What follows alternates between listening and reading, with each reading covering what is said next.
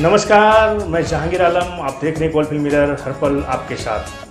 सोलह महीने के बाद कृषि कानून बिल को वापस लिया गया है। इस विषय में क्या कहेंगे आप? देखिए ये जो कृषि आइन जो बीजेपी मोदी जी जी का सरकार जो किया था ये हम लोग तृणमूल कांग्रेस उसको हम लोग बोलता था का, काला कानून आज सबसे बड़ा चीज़ है लाल बहादुर शास्त्री जब था वो एक तो संगलप था। वो बोलता था कि जय जवान, जय किसान। आज जितना किसान है भारतवर्ष का, सबका जय हुआ।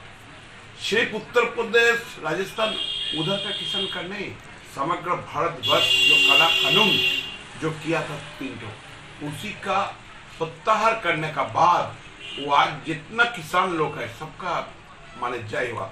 हमारा नेत्री ममता बनर्जी, पहले से पहले से ये कला कानून का खिलाफ लड़ा था। उन्होंने संसद भेजा था, वो लोग को घुसने ने नहीं दिया। और जितना भी, जो भी हम लोग का यहाँ पर, पश्चिम बंगाल में जो चुनाव हुआ था, वो किसान का नेता लोग आया था। हम लोग का समर्थन में अपना वोट करने के लिए। तो हमारा दीदी किसान का साथ है श्रमिक का साथ है छात्र का साथ है युवक का साथ है आम पब्लिक का साथ है।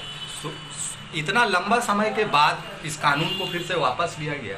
तो इस विषय में इस विषय में सामने में वोट है? सामने में उत्तर प्रदेश में वोट है यह जितना किसी का समर्थन लेने के लिए हाँ, इसीलिए वोट का राजनीति कर रहा है। अगर यही करना तो मैंने चाहिए था क्यों एक साल का लगभग जितना किसान लोग को रास्ता का ऊपर छोड़ दिया गया था। इतना शीत इतना वर्षा इतना गर्मी में। अच्छा जैसा कि आपको मालूम है बीजेपी के कई सांसदों ने ये किसानों के ऊपर आरोप लगाया था कि उन्हें वो पाकिस्तानी है खालिस्तानी है और वो चाइना मतलब उसको जो है हवा दे रही है।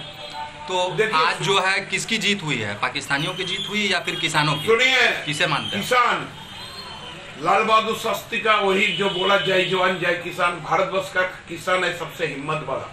सबसे हिम्मत। आज इंडस्ट्रियलिस्ट है आज बहुत सारे आदमी है लेकिन पहले क्या था? पहले था खेत मुजरी किसान।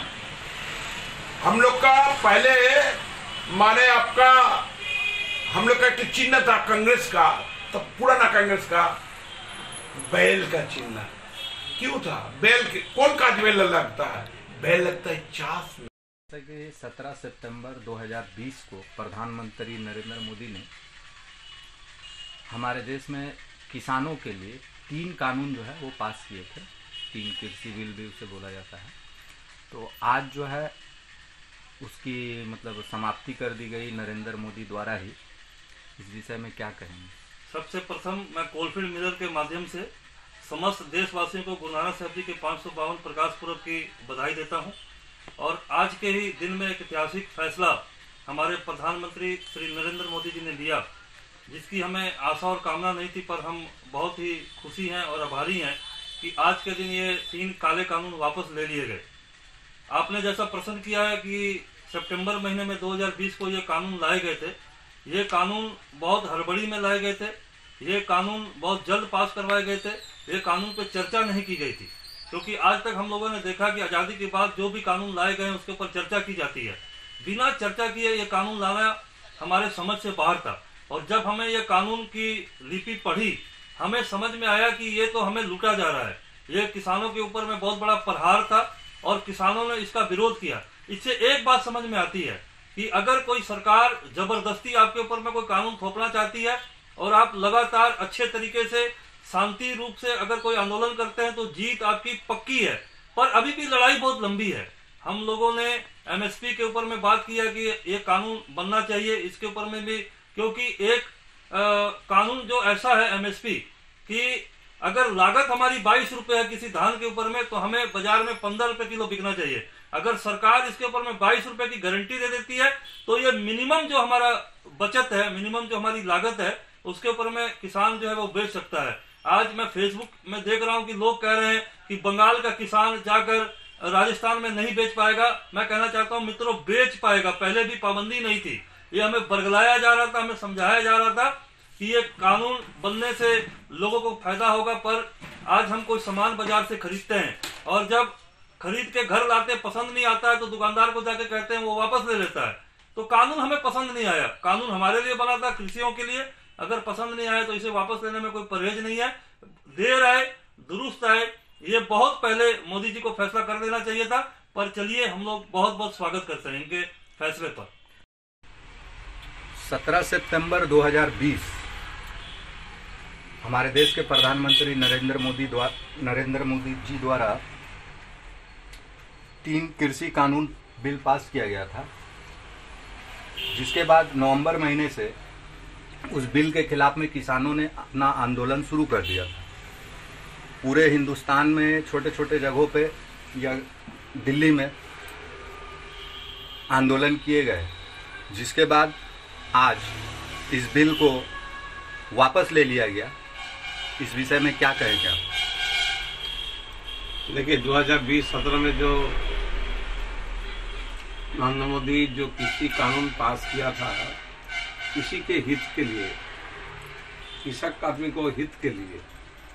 लेकिन इंडिया का कुछ बुर्बक आदमी है, जो लोग को इसका बारे में ठोस समझाने के लिए कोशिश नहीं किया। जो ये किसी बिल आपका कृषक के लिए कोई खराबी नहीं होगा। कृषक का स्वार्थों का लेके कृषक का उन्नति का लेके कृषक का प्रोग्रेस के लेके, और कृषक का ज़मीन का बारे में उन्नति होने के लिए ये सब व्यवस्था नरेंद्र मोदी किया था, लेकिन ये सब सोचने नहीं दिया कुछ भारतवर्ष का कुछ आदमी लोग। आज जो बिल आपस हो गया, ये बहुत दुख का बात। भारतीय जनता पार्टी, कर्मी लोग, नेता लोग इसमें, इसलिए दुख प्रकाश करेंगे, इसलिए दुख प्रकाश होगा जो हमारा जो प्रधानमंत्री, जो कृषक का हित के लिए जो काम किया था, लेकिन देश का आदमी ठीक से नहीं सोचा, कृषक का आदमी। इसीलिए अगले दिन इसका अंदर में इसका लोग का भलाई के लिए फिर भी समझाना चाहिए फिर भी हम लोग मतलब उतना किसान जो आंदोलन पे उतरा था वो किसान बेवकूफ़ थे बुड़बक थे? नहीं कृषक बुड़बक थे कि नहीं थे नहीं। आंदोलन आंदोलन ही होता है। जब को कानून हो रहा कानून का एगोस्ट में आंदोलन हो रहा इसको बुड़बक नहीं बोला जाता ये आंदोलन होता है। तो आंदोलन किया उसका रूपरेखा का ऊपर। लेकिन हमारा जो प्रधानमंत्री जो स्टैंड लिया था जो ये आपस लेंगे नहीं हम। लेकिन परिस्थिति का विचार करके ये भी जो परिस्थिति है उसका ऊपर विचार विमर्श हुआ और प्रधानमंत्री सोचा जो सोचा सोचने में एक साल चार महीने लगभग। इतना समय लिया। हम्म। तो ये कहाँ तक मतलब सही था देश के हित के लिए या किसानों के हित के लिए कहाँ तक सही था? इतना लंबा समय सोलह महीने लगभग। देखिए किसान बिल अब कृषक के लिए खराबी नहीं थे ये भी बोल रहा हम लोग भी, भी बोल रहा लेकिन देश का आदमी लोग इसका बारे में सोचा ही नहीं। कुछ आदमी इसका अगेंस्ट में चल गया और आदमी लोग को इसको भड़काया। और भड़काने के बाद जो डाइवर्ट हो गया वो डाइवर्ट होने का चलते आंदोलन हुआ। भड़काने वाला मतलब कौन था? कौन भड़काया देश का आदमी है कुछ। हमारे अगेंस्ट पार्टी का? लेकिन ऐसा बोला गया भारतीय जनता पार्टी के कुछ सांसद ने ये किसानों पे आरोप भी लगाया कि या मतलब पाकिस्तानों की साजिश है या फिर चाइना की साजिश है इसमें इस आंदोलन को बढ़ावा देने के लिए। ये कहाँ तक मतलब सही है? नहीं है। तो आज जो जीत हुई जैसे कि किसान आज जश्न मना रहे हैं जीत का अपना तो ये जीत किसानों की हुई है या फिर पाकिस्तानियों की या चाइना का जो उनको समझाया था? चाइना पाकिस्तान का इस्तेमाल का हमको सहमत नहीं है। हमारा इंडिया का बात है। इंडिया के आदमी थे दूसरा कोई देश का कंट्री के आदमी नहीं थे। और इसमें दूसरा कोई कंट्री इसमें भी नाक गलाया नहीं। ये आपके ये मतलब गलत सोच है।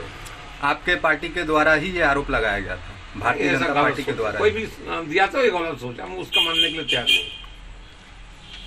आपका परिचय?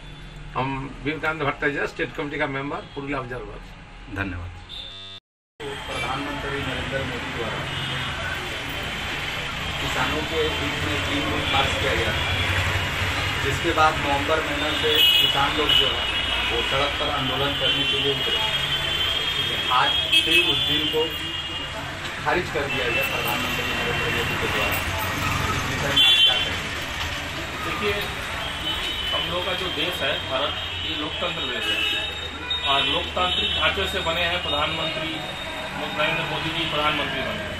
तो उन्होंने देखा कि देश में जब एक वर्ग, कुछ किसान, कुछ सारे किसान हैं कुछ किसान अगर इस बिल को मान नहीं रहे, उनकी समझदारी बोलिए या जी ने कहा कि हम लोग समझा नहीं पाए तो उन्होंने आज गुरु पर्व के दिन में, गुरु गोविंद सिंह जी के, गुरु पर्व, गुरु नानक जी के आज पर्व में उन्होंने इस बिल को वापस लेते हुए ये कहा कि जब किसानों के हित में ये बिल नहीं है उन्हें लगता है तो मैं इस बिल को वापस ले लेना चाहूँ लेकिन ये बिल किसानों के हित में ही है। तो इतना लंबा समय क्यों लिया गया? एक साल से भी ज़्यादा समय लिया गया। इस बीच कई किसान मारे भी गए। जो मारे गए किसान मैं उन्हें नमन जनाता हूँ। कोई भी आंदोलन या आज भारतीय जनता पार्टी भी भारत में जो सरकार बना पाई है, केंद्र में सरकार बना कर पाई है, इसमें भी हम लोगों ने कई तरह के आंदोलन किए हैं। आज हम लोग भी यहाँ लोकल नेतृत्व में काम करते हैं तो हम लोग भी यहाँ पुलिस के लाठी का मार खाते हैं, केस खाते हैं, जेल जाते हैं। आंदोलन में कभी भी कुछ हो पाता। तो आंदोलन का जो जगह है, किसानों को लगा आंदोलन करना था, वो लोग बॉर्डर पर बैठे हुए थे, आंदोलन कर रहे थे। उन्हें इस बिल के ऊपर में विश्वास नहीं था, लेकिन सरकार बिल को विश्वास दिलाने के लिए कई बार कईयों बार मीटिंग की उनके साथ उनके साथ आलोचना की बैठ के मुलाकात की कि इस बिल क्या क्या अहमियत है एम क्या है, अठारह सौ, दो हज़ार रुपये के रेट में आपको क्या होगा, नहीं होगा, ये सारा चीज़ समझाने की कोशिश किया गया, लेकिन वो उनको समझ में नहीं आया। तो प्रधानमंत्री जी ने देखे कि इसमें सबसे ज़्यादा सिख समुदाय के लोग जुड़े हुए इस बिल से, और इस बिल का विरोध सिख समुदाय के किसान वर्ग के कुछ लोग कर रहे हैं। इसीलिए उन्होंने आज प्रकाश पर्व के दिन में इस बिल को वापस ले लिया। मेरा परिचय, मैं भारतीय जनता मजदूर ट्रेड यूनियन का कुल्टी विधानसभा का अध्यक्ष हूँ। टिंकू वर्मा